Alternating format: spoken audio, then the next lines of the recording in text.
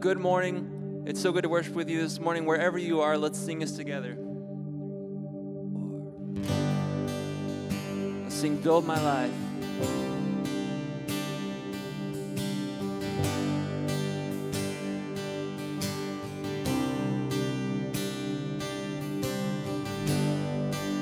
Worthy of every song we could ever sing For all the praise we could ever bring. And worthy of every breath we could ever breathe, we live for you, Jesus. Jesus, the name above every other name. And Jesus, the only one who could ever. worthy of every breath we could ever breathe. We live for you. Oh, we live.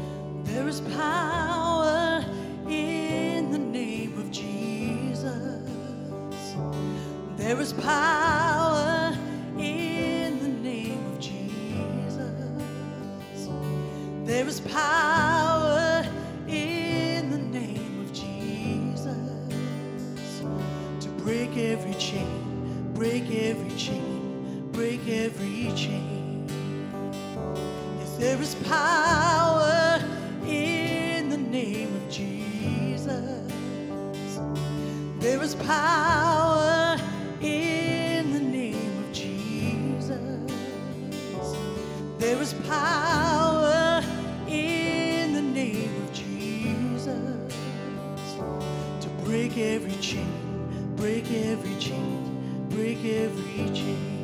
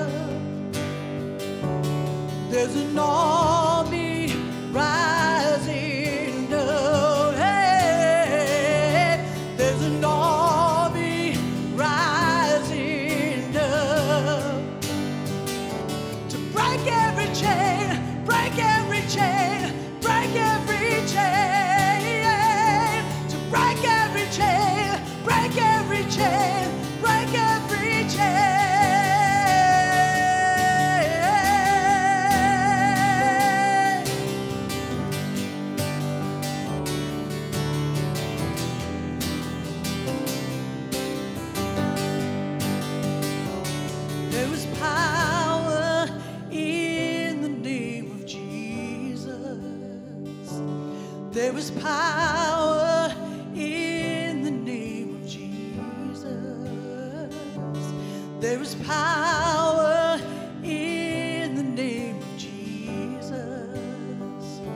To break every chain, break every chain, break every chain. To break every chain, break every chain,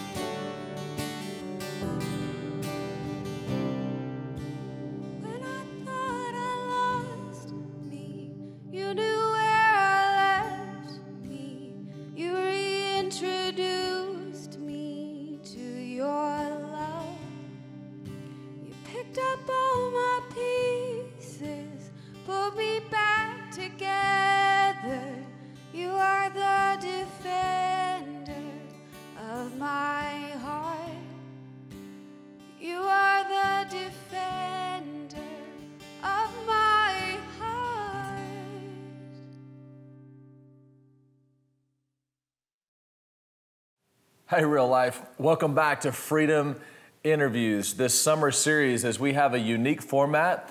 As each week, I bring a different guest to talk about a particular subject. And today, uh, a true hero is going to help us with this much needed conversation about racism. My special guest today actually has offices at Camp Mabry as well as Fort Hood and has been in the military for over 30 years.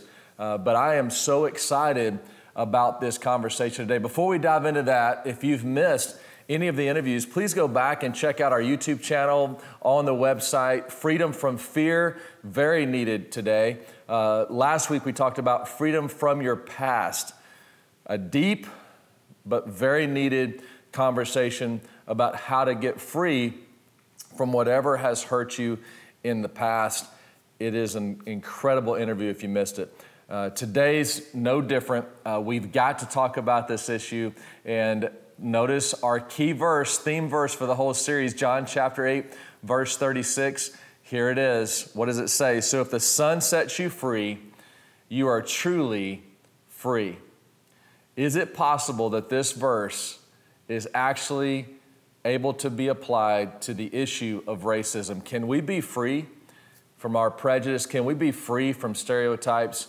Uh, Jesus absolutely can set us free. I'm going to ask you to turn in your Bibles of 1 Samuel 16 and 1 Peter chapter 3. And let me set up this interview with just a few biblical principles before our special guest comes on. Uh, first of all, uh, let me get a definition for racism. I'm going to put it on the screen for you as I looked at several different uh, definitions online to make this one definition for our conversation today. Racism is prejudice directed against a person based on characteristics such as physical appearance. Now, especially, uh, and this does include the color of someone's skin, economic classification, or social status.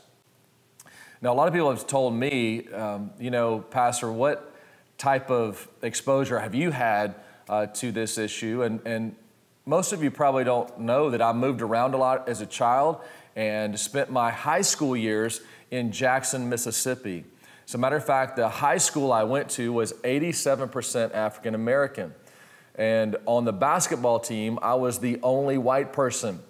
And I'm very thankful for that time in my life. I was able to study black history taught by black teachers. I was able to look at a lot of the history that some schools in our country ignore or just kind of skim over. So I read Martin Luther King's sermons. I, I really dove into how were people treated on the issue of slavery and, and the history of that time in, in our country, the Civil War, the, the, the, all the um, different struggles, even after the Civil War was won, and supposedly there was freedom in the South. And so I'm very thankful for that time. And, and also, I experienced racism from being a minority at that school, uh, being the only white guy on the basketball team. I can remember the first time uh, that someone called me a cracker. Uh, I had to go home and ask my mom what that meant. Why did they just call me a saltine cracker? I, I didn't know. Uh, but I can tell you, despite all of that exposure, I still don't completely understand this issue, and that's why I've invited our special guest uh, today. And before um, I introduce him, uh, let me just give us some biblical principles about racism. I want you to look at this verse, 1 Samuel chapter 16, verse 7.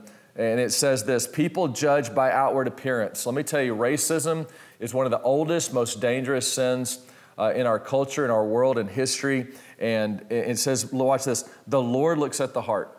When, when we really put Jesus first, put the Lord first in our lives, uh, we're going to have to deal with racism, which is judging someone by the basis, remember our definition, of their appearance, uh, their economic or social status. And so, freedom from racism is accomplishing this looking at the heart of people beyond uh, their outward appearance and really loving people unconditionally and completely, just like Jesus did. And so there's three steps to freedom that we're going to talk about today, and I want you just to write them down on a piece of paper, and we'll come back to them after the interview. And here's the first one How do you get free from racism? First of all, you recognize racism as a sin.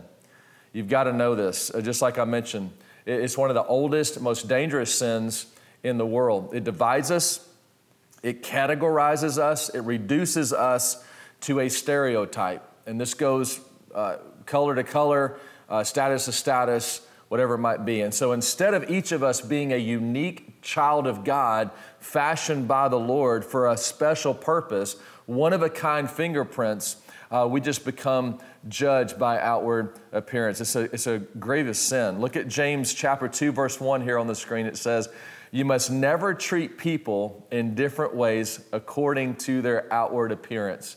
That's the good news translation, and it's very, very true. We cannot do that. it, it is absolutely a sin. And when you say, Well, why didn't God make everybody like me? Uh, you're presuming on God uh, when you say that. Not everybody's like you. As a matter of fact, no one's like you. You are absolutely unique. On the same spectrum, uh, to say that I need to apologize for how God made me is also a sin. Uh, to say, you know, Micah, you need to apologize for being white. Well, if I did, I'm apologizing for God making me that way. I can't decide what my color is. And so you see how subtle this is. Racism is a sin. God shaped us, yes, our outward appearance in a certain way. We should look at each other's heart and from the heart, uh, love each other. And so anything less than loving people conditionally and completely uh, is a sin. In other words, if I don't respect you, accept you, and I'm not kind to everyone, no matter who they are, if someone looks homeless, I need to treat them like the CEO of a company. And, until we can get there, anything less than that's a sin. Number two is remember your story is not their story. This is very important. Remember, your story is not their story. Everybody's got a unique story. Everybody has a story. I have a story, you have a story, and that experience, our experience, imprints on us things that we can't describe or relate to completely anyone else. In other words, if someone was born in New York City, they have a different history, a different story than somebody born on a ranch in West Texas. And so those histories matter, though. And so your story matters, and so does theirs. Look at this phrase in 1 Peter chapter 3, verse 8. Here's the phrase sympathize with each other. You know what that means? To sympathize with each other? It means it's not about you. You're not the center of the universe. And everybody doesn't see things like you because they're different than you. You ever heard the phrase walk in somebody else's shoes? That's what sympathy is. And we need to walk in each other's shoes, find out someone's story and relate to it. But listen, don't say, oh, yeah, yeah, I understand, because you don't. You do not understand someone else's story. But we need, just like Jesus did, to walk into the story and know that person, what their experiences were. And sympathy says, I want to listen. I want to learn about you. And even though I can't relate or understand a lot of what you're saying, I will treat you with respect. So your story is not their story. And here's the third one racism ends where love begins. Racism will end where love begins. The only way racism is going to end is when, is when we as people start loving each other like Jesus. Look back at 1 Peter chapter 3. Look at this next phrase in verse 8. Love each other as brothers and sisters. I love that. Love each other as brothers and sisters. Be tenderhearted and keep a humble attitude. And look at verse 9. Don't repay evil for evil. Don't retaliate with insults when people insult you. Instead, pay them back with a blessing. That is what God has called you to do, and He will grant you His blessing. My special guest today has definitely been blessed. Lieutenant Colonel Les Edwards, thanks so much for being here and uh, being a part of this interview. And uh, first of all, I want to thank you for your service to our nation. Um, no one understands or appreciates freedom more than the men and women who serve our country. And I know you've served our nation for over 30 years now, 19 years in active duty, uh, now with the National Guard. And so, first of all, just thank you for protecting our freedom and, and our nation and serving our country. I'm really glad uh, that you're here today. Thank you, Pastor. Yeah, it's, it's my pleasure. I really appreciate it. Yeah.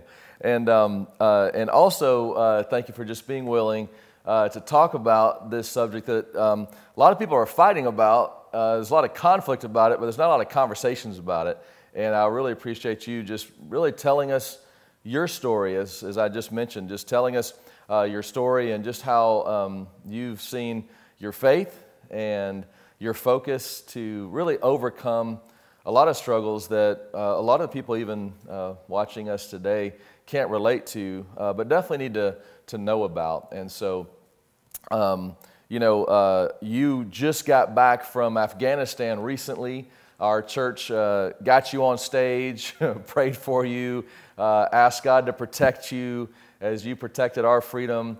And we're so thankful He answered our prayers. He got you back home, and, and those who were serving under you as well. And, uh, you know, um, and so how did it feel? You know, you're over in Afghanistan, protecting our freedom, serving our country, and then to come back and into the, the turmoil and the kind of the division of our nation. How did it feel coming back from protecting our freedom and really watching uh, what you've experienced and kind of the um, turmoil that's happening right now?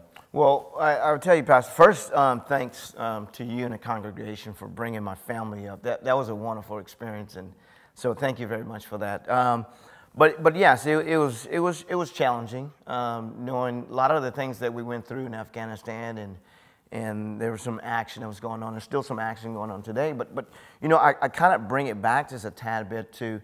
I, am second generation military. My dad was in the Air Force, um, retired with about 24 years in the Air Force.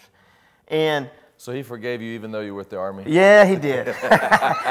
it took a little while, but he did. okay. And so, um, but, but um, I, can, I can remember back with some of the stories and even himself, you know, he's, he was a Vietnam vet along with his brother, and him and his brother was in Vietnam, served at the same time. And, but the struggles when they came back um, to, to America, for one, not only at that time, really, America didn't really accept the military, didn't accept that we were in war uh, with the Vietnamese, um, and they didn't really understand it. So, for one, coming back to your country that really didn't accept that, and then two, you're, you're, you're, you're black coming back. So, you, you, you there was a lot of challenges wow. with that. So, not too late coming back to the United States that the, the, our country didn't accept that. I, have got many appraisals and, and applause for being in the military, but coming back to America and, and, as the pandemic started, there was a lot of struggles with that and a lot of issues with the pandemic, and you really didn't understand things, as we say in the military, it took kind of a, a tactical pause. And then George Floyd, his death came. So there was, you almost kind of relate those two. Um, there were some similarities with that. So there was a lot of hurdles to cover with that, a lot of hurdles to jump over. Yeah, and um, uh, thank you for taking us back to just recently, people would judge by the book of the cover of just like, hey, if you're in the military, we don't understand you, we're going to judge you.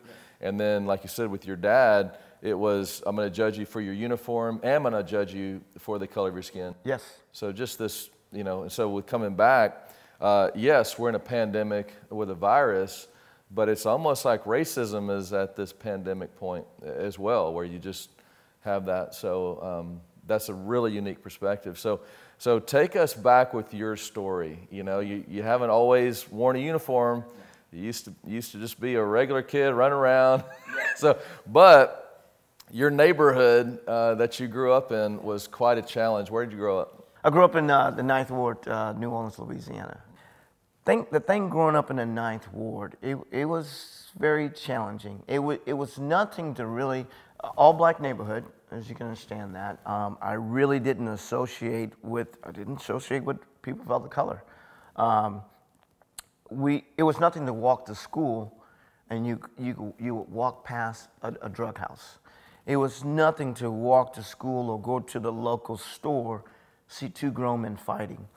Um, it was nothing really to, to look outside of your house late at night. And, and my uncle classified it as like a, a, a Western movie and, and you see a gun battle going on. Just, just, folks, just. That was just a regular night. It was a regular night.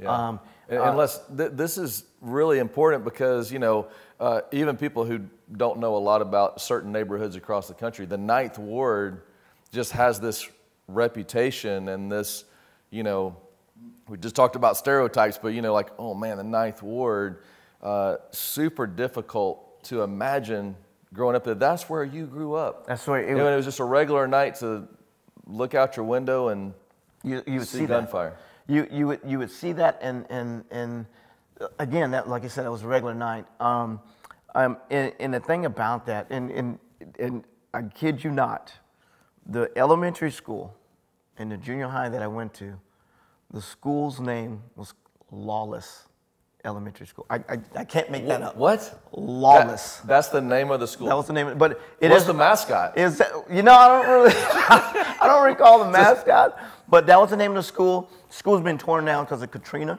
But but yes, you can Google that. so you went to school. I, I'm I'm going to Lawless. Um, that was the name of the school. I kid you not. You can't make that up. And, and the reason why I said it, the only time you would actually see the police in the Ninth Ward if someone called because of an incident or something happened. You wouldn't see them patrolling. You would just they just wouldn't come in the neighborhood. Uh, it was such a dangerous neighborhood. And New Orleans, one, at one point in time, had the highest crime rate um, in the nation. Um, but the the thing that really kept us going, and you and I had this conversation before. We we understood those struggles and we understood those challenges, but the thing that kept us going was really it was just really two things. It was love in the family. Um, well, actually three. And you talk about this. It was love in the family. There was prayer in the family, and and there, there was there was whippings. There was beatings going on. the Bible says, spread a rod." So so that So your mom liked that verse. yeah, my, my, mother didn't really do it. It was my father or my grandparents. Uh, Okay. uh, and, Oh and- wow. Yeah. Grandparents get involved. Oh yeah, and and honestly speaking, the the, the neighborhood lady down the street, she would give it to you. That was that Oh, was a common thing. Or or there would be a phone call at the house and so hey, such and such is acting up. But but And we you were gonna get it when you got home. Oh yeah, you can definitely most definitely you'll get it. And so um, But there was still love, there was still love. and then you prayed out. and you pray after. um, I wouldn't use those tactics today. so if my kids ever say, "Hey, he touched me," no, that's not the truth. But no, we wouldn't use those tactics today. But we still use love and prayer, and that was the that was the biggest thing that kept us going. So you're going to school in Lawless, uh, and you're in the Ninth Ward. Uh, you've already mentioned the police wouldn't show up unless uh, you they, you got a 911 call that something had already happened. There was there was no patrolling that kind of thing. Um, you know, uh, there's what's called institutional racism. In other words, like there's you, you just had the cards stacked against you. Um, uh, how did you overcome those kind of struggles in, in the Ninth Ward, uh, even in those days, uh, with just, you know, with where you've accomplished today? How, how did you do that? Well, we we we, we knew fir- first and foremost, our parents and grandparents didn't allow us to like feel sorry for yourself. We knew the conditions that, that was there, and, and as nowadays we say, hey, it is what it is, and that, that was kind of it is hmm. what it is. But we looked at, and, and as a kid, my brother and my cousins and I, you know, we, we, we knew we had to have education and, and, and trying to get to the next level. So some of my challenges is, is when I actually moved to Texas. And his last assignment was, was in San Antonio, Lackland Air Force Base. And so we moved out to Texas, uh, moved from the Ninth Ward. And you got to understand the, the, the big picture of it the only time I would see a person of a, of a different color, if we would call it uptown. Uh, if we would go uptown, um, a lot of folks under, knows the French quarters, and, and a lot of folks know all everything that's down there has to offer. So we would go uptown to shop. So the French Quarter is uptown. For- we, that's what we call it uptown, not down. You know, go downtown. We would call it uptown. New Orleans is a little bit different. And so we have our own language over there, and, and that's the piece I want to talk to you about. good beignets, We have good beignets. You got to eat the beignets. You go there. Uh, Cafe du Monde. So, um, um, so, so we would go uptown, and that's really the only time uh, we would see a, a person of, of color, a, a diff- different color. It's the only time we would see white people, and but everyone kind of stayed to their own because everyone would eat and, and, and laugh, talk, or whatever, and then when, literally when the lights would go down, you go to your corner, I'll go to mine, we'd go back to the ninth ward, and, and that's how we lived. And so a lot of the struggles really started with me is, is uh, we moved to Texas. Yeah. Now, I want to get to Texas in a second. Let me ask you this. So you're in the Ninth Ward. Uh, the only time you see white people is when you go uptown. Um, what was your perception of white people, if you will? Because you're with, like you said, in the Ninth Ward is is all African American. So, uh, how how did you think about, view, uh, look at Uh, what prejudices may you know? How did you see the people that lived uptown? Let's say it that way. Um, you, you know, you, you can, you looked at things, um, you can kind of see the have and have nots. But the way we were raised, um, we didn't, our parents didn't raise us underneath prejudice. Um, and, and so that's why, and we'll talk about it in a few minutes, but that's why some of the struggles. We, we didn't really look at color. We, we, we looked at, we understand, understood the conditions. Um, the, the houses that, that where my, I lived with my grandparents, and there was nothing really to roaches crawling around. You're sitting there eating in, in, in, a, in a big sized rat or so. That, that, was, that was the life we lived. And we understood that, and we, we just accepted those things. Um, and we, again, we kind of knew the have and have not, but th- there wasn't a sense that, um, you know, we felt sorry for ourselves because our parents didn't allow that. It, it's like, this is the conditions, and what are you as an individual going to do about it? And, and, and trying to break that mold, so to speak. But, but, uh, but again, I, I don't feel sorry for those things because I still teach my kids, and we go back to New Orleans for, from the roots of where I'm from.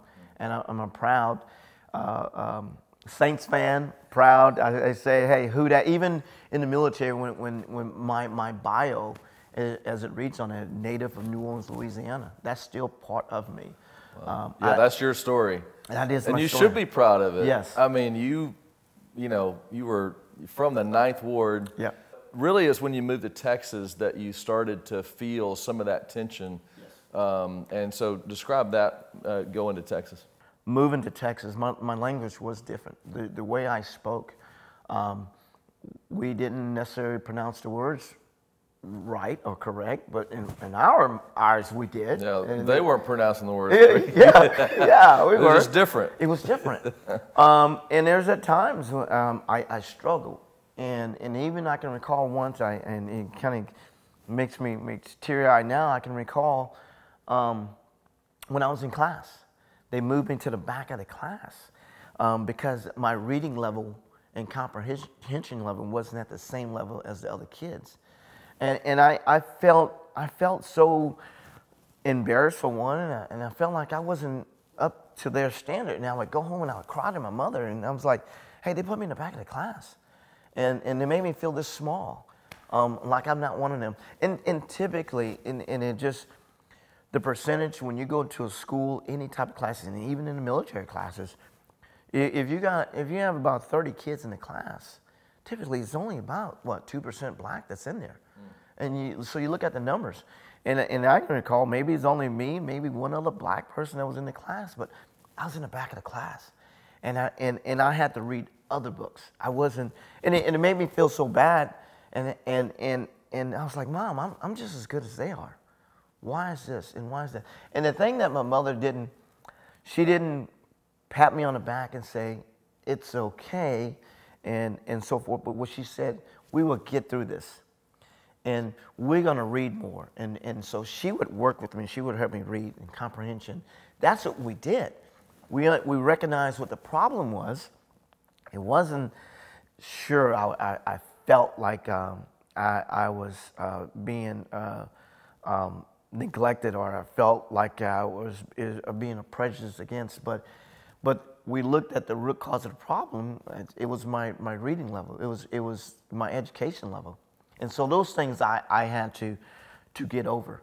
Um, but, but yes, but there was still struggles um, because, as we say, birds of a feather flock together. And when you, you don't look like that next person. And those are the struggles we actually face as, as we'll say, as being black in America in, in, in the George Floyd and all those things. Um, there are struggles, regardless if, if you have a, a reading issue or not. It's just the fact that sometimes when you go into a room and, and there's there might be 15 white individuals and you're the only black guy, you're the one that stands out. And, and so that's always a struggle that's there. And at the end of the day, you, you know, and I don't want to get into that subject, but are we looking at changing, trying to change history and taking down the statues? But to me, it's not about that. To me, it's about what's in your heart. That's where it is. And, and like I said, we, we understood the struggles back in New Orleans, but my parents didn't allow us to feel for that. And when we would go out, we understood. When we go uptown, we understood what they had, but I wasn't envy of, of that. I knew what I had, but I knew okay, I would like that. What do I have to do to get that? And that means working hard. That means uh, um, getting your education. And, and those are the things. The military kind of lines it out for you. You, you got to do this, you got to do that to be successful. And part of it too is, you know, it's on your own. But, but going back to the school piece, um, it, it was tough. Um, I mean, sometimes I, I, I, I felt like uh, even on the playgrounds, you know, it's, you know, trying to play with the others. And some of the, the individuals that maybe that uh, I, I, I link with at first will, will kind of individuals that were maybe someone like me. And I'm just going to say it, I don't want to offend, offend anyone, but or maybe some of the, the, the trailer park kids that were on the outside as well. Those became my friends because we, we weren't like the rest. And that was a reality. But again, um, I can't change what's in a person's heart, but I can look at things and say, okay, that, that guy, he, he's a hard worker. Um, he's educated. Uh, he has love for his family. All those great things. He's a Christian and he, he loves the Bible. Those things. And, and so those are kind of the, the cornerstone of, of what I, I see that uh, my parents wanted for me. Yeah. So I can tell you what you had. You had a great mom. Yes. Because you get, get to the back of the room. How old were you when you went to the back of that, that Texas transition? that year, I was in eighth grade that Okay. year. That's a big year Yeah. uh, for anybody. I mean, middle school's tough. Yeah, what. so, 12, 13 ish. Yeah.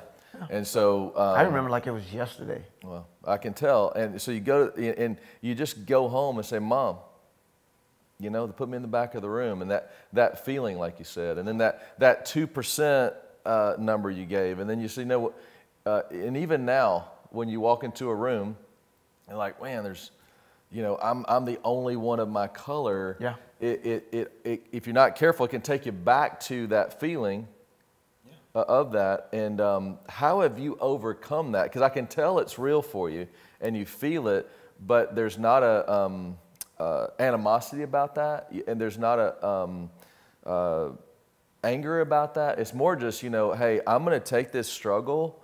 Um, and your mom was able to not say that was okay, but to help you identify how you were going to overcome it. So, how have you overcome that? You, you as an individual, again, you can't feel sorry for yourself.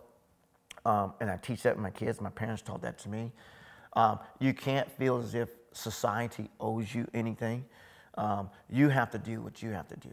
And, and you have to define success, whether it's, I want to get a, a, a undergraduate degree, master's degree, or you know what, I just want to get a certificate, I want to be a welder or, or whatever. I want to feed my family. If that's what you find success, that's what you have to do. Uh, but you can't let others steal your joy because racism, I think, will always be there. Racism and, and prejudice will always be there. Racism is always going to be there because sin is always going to be there. Um, tell me about the military. How it one, how it helped you.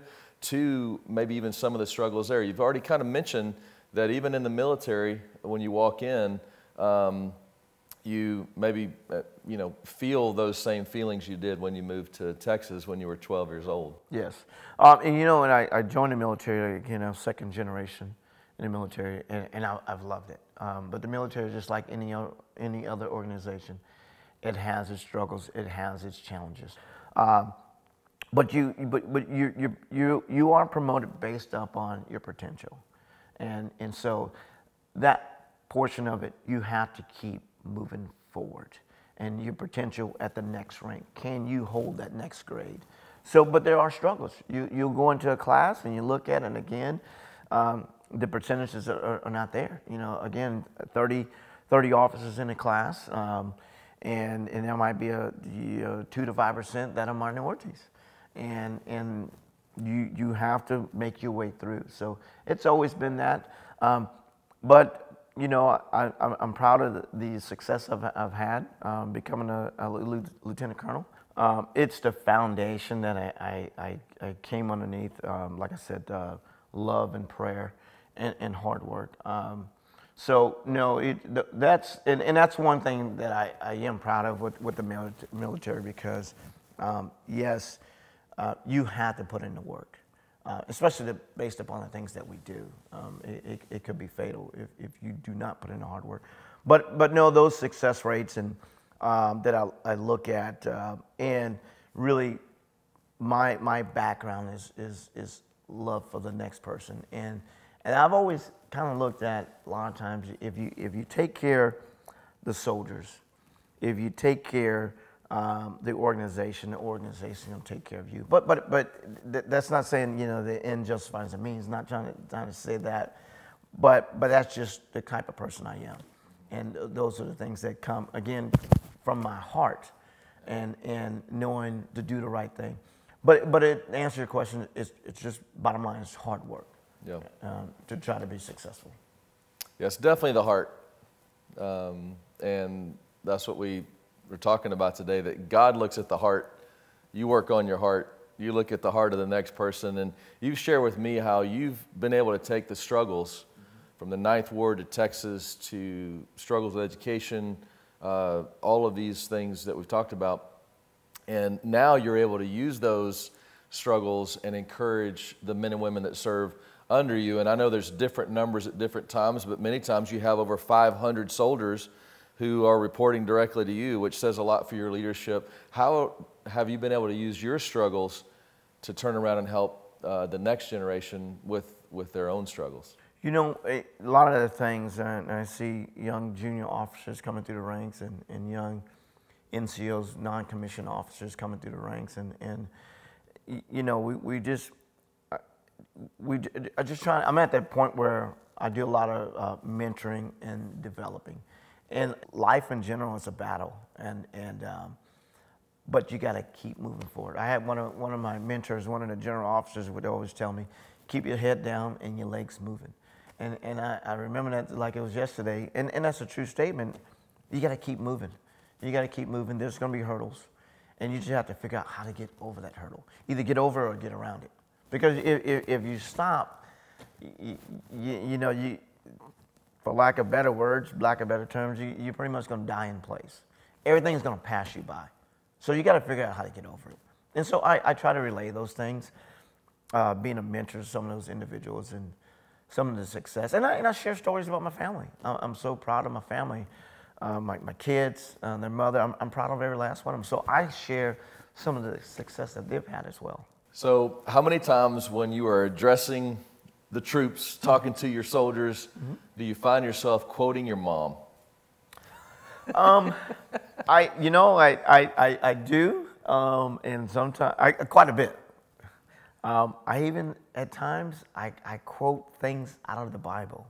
It, it just comes to me. Sometimes your- I, I kind What of, your mom did too. yeah, I it did. And sometimes I may kind of mess up the verbiage, but I had to Google and say, wait a minute, yeah, I said that right. And even now, my kids know, um, I would text them, uh, you, know, you know how everybody say, hey, it's hump day, you know, hey, it's hump day, and so forth. But sometimes I may text, uh, uh, one of my favorite texts is, today is the day that the Lord made, be happy and be glad, or something of that nature. Are one of, one of the things I text the, the family.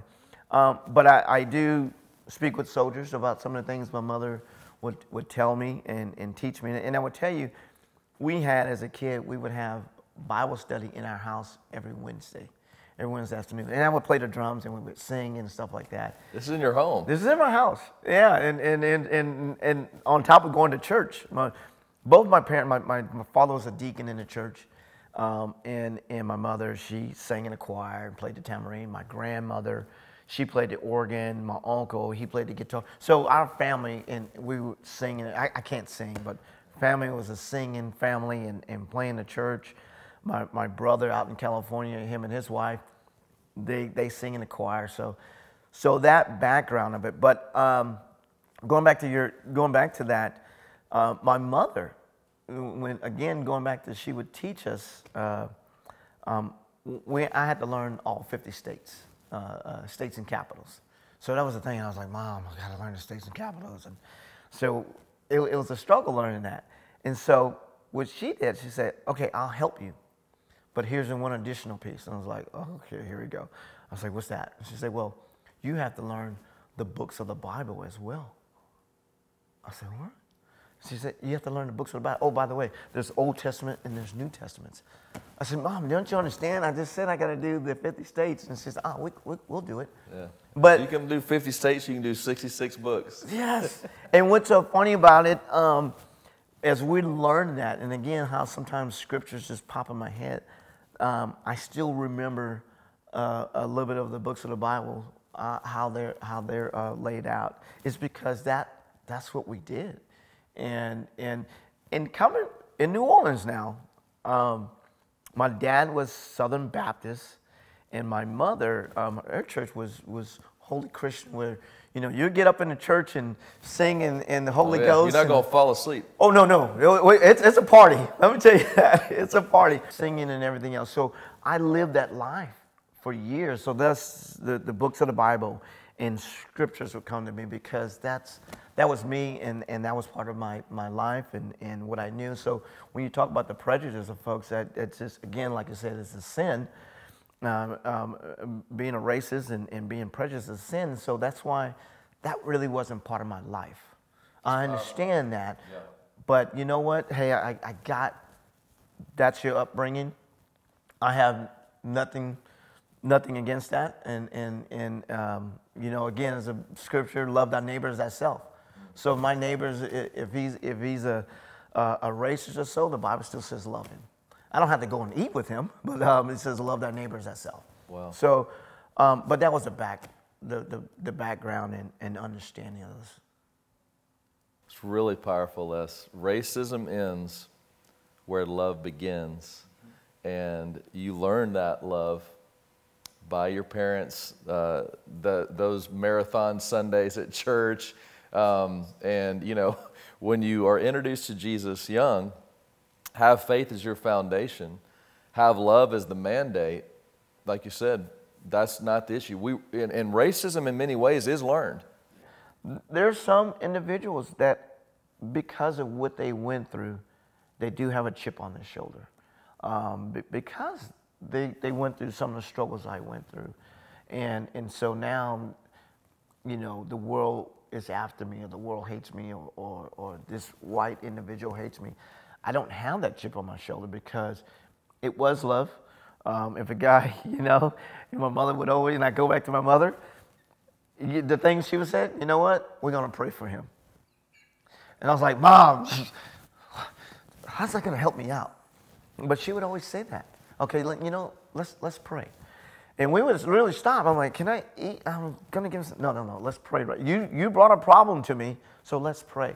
And so that's that's at the end of the day, that's what it is, because she had love in her heart, and and um, and God, my, my both my parents are deceased now, but uh, but that is still there.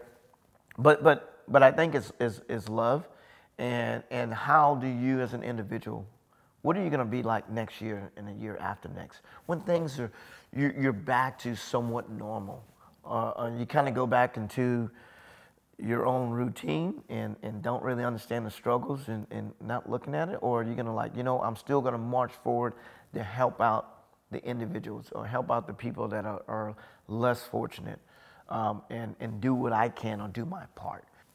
It's powerful, Les. Love. Racism ends where love begins. And the big challenge, which I appreciate you giving us, is, is not just choosing love right now when an issue is heightened, but choosing love next year. Uh, choosing a love that doesn't run out. And that's why we've gathered as a church family, because only the love of Christ never runs out. It's unconditional, it's complete, and it's always going to be there. And that's the kind of love we need to have for each other. And I just want you to know, Les, as your pastor, I'm proud of you. I'm proud of a guy coming from the Ninth Ward to where you've accomplished in the military and just all that you've accomplished in life through all your struggles. And let me just tell you, I don't understand everything you've been through, but I really respect how you have navigated it and your mom's faith passing on to you and your parents' discipline and prayer and love uh, to really challenge all of us today uh, in this very sensitive but needed uh, discussion. And I'm just so thankful that there didn't have to be conflict around it. We can just have a conversation. And, and if that conversation's in love, it's going to change. It's going to change everything. And so, thank you for making our church family stronger and better because of you sharing your story today. And, um, and this pastor, we're thankful that our prayers were answered, getting you back home. And, uh, and we're thankful to see how the love of Christ is not just going to change uh, these things we've talked about, but really keep changing uh, not just Texas, but the world through the love of Christ. And, uh, and Les, I'm really thankful you're my brother. I'm thankful. God, God bless you. I'm, I'm, thanks for being here today. Thank you very much. I appreciate it, Pastor. What a powerful story. You know, as you are watching this today and hearing Les's story, I, I just want it to become crystal clear to us that racism ends where love begins. And we just heard just how powerful that statement is when you apply it. Les, thanks for telling us your story. Remember the principles I started with today that racism is a sin. And I'm so thankful that, that Les wasn't taught prejudice, so he didn't live it. I wasn't taught prejudice, I, don't, I didn't live it. Uh, but we need to be super careful and very aware of this sin that we never judge anyone by their outward appearance, whether it's the uniform they wear, or it's the color of their skin, or it's the status of their um, e- economic condition, uh, where they are from, from the Ninth Ward to Westlake. And so get to know their story. And I don't know about you, but getting to know Les's story makes me appreciate him more, uh, helps me to, to sympathize more, but also uh, brings a lot of admiration and appreciation uh, and, and respect to his accomplishments of what he has been able uh, to do in his life. And, and just remember, again, love is the powerful tool. Real life, don't miss this today. I don't know where you're sitting with your experience with racism, maybe feeling like people are judging you because of your outward appearance, uh, or maybe you realizing, you know what? I have some prejudices I need to deal with and some stereotypes I need to get rid of. But either way, listen to me carefully. Jesus sets you free. Remember our theme verse. If the Son sets you free, you are truly free. Real life, Jesus not only took care of sin on that cross, Jesus killed racism when he died on that cross. Because what he said is, is everyone is worth it. Everyone is valuable. And my blood is for all tribes of all nations, of all races, for all people on the planet. For God so loved not a certain segment of people, but the world. And that is the love that we have to show. And so, in order to show that love, we have to experience it. And I tell you, you're going to deal with prejudice and racism your whole life until you experience the love of Jesus. And would you let Him love you today? I don't know who you are, where you've been, what you've done, what you drive, where you live, or the color of your skin, but God looks on your heart today and He loves you. And would you turn your heart over to Him? Would you find the same faith that Les has found, that I've found, that makes us brothers in Christ? And all of us are in God's family. Look at this verse, Galatians chapter 3, verse 26. It says, All of you are God's children because of your faith in Christ Jesus. The ground is level at the cross. And at the cross, the scripture tells us there's no Jew or Gentile, slave or free. Uh, there's, we're, all, we're all loved children of God. And so let's right now pray and receive that love. Would you pray with me right now? Uh, Heavenly Father, thank you so much uh, for this time. Lord, all of us needed to hear this story. Uh, God, all of us uh, are looking for how to help with this issue. And God, I pray that we would take Les's challenge, God, that we would, would love each other. Uh, it's the challenge of Jesus, God, to, to look past the outward appearance and, and truly treat people with respect. Hear their story and sympathize with each other. God, I want to ask, Lord, that you would infuse uh, the church known as real life as, as a family, a spiritual family of faith that, that looks beyond our differences and embraces the unity we have around Jesus. Jesus, thank you for dying for all of us. And because of that cross, we can love each other and be set free from racism and prejudices, and we can appreciate our differences instead of fighting about them. Lord, thank you that racism ends where love begins, that conflict ends where conversations begin. And I pray, Lord, that uh, we would realize that we need to love everybody who's different than us. And it doesn't take much to find somebody different than us because everybody's different than us. And may the love of Christ flow into the hearts of everyone who's watching this right now. May we open up our hearts and lives to you. Lord, forgive us where we have had prejudices. God, forgive us we have stereotyped people. God, forgive us uh, if we've been taught racism, Lord, and we just lay it down at the cross. And God, we take up the love of Jesus and help us to see everybody today, tomorrow, and next year through the lens of love. For we ask this in the name of the one who taught us that love and showed us that love on the cross and gave us the power to love through the resurrection, Jesus Christ. And everybody said, Amen. I know you've really appreciated this interview today, and I'm going to ask you, real life, to respond in a couple of ways. First, please continue to give. In these summer months, uh, you guys have been so generous. Thank you for leaning in. Uh, I know some are not able to give, but if you are able to give, would you help us?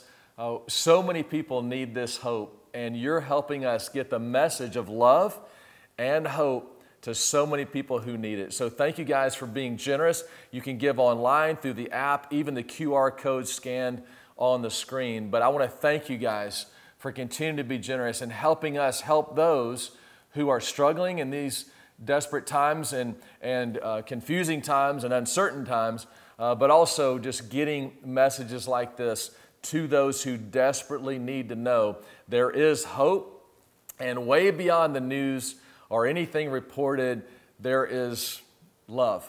And, and we are all brothers and sisters in Christ who've put our faith uh, in Jesus. And so uh, I'm also going to ask you to make sure that you're checking your campus's Facebook uh, for when you're going to gather again face to face and those options uh, coming up in Corpus uh, somewhere around the middle of August for Austin. Cannot wait to have that option to gather again, real life. God bless you guys and love someone who's different than you this week, and let's change the world.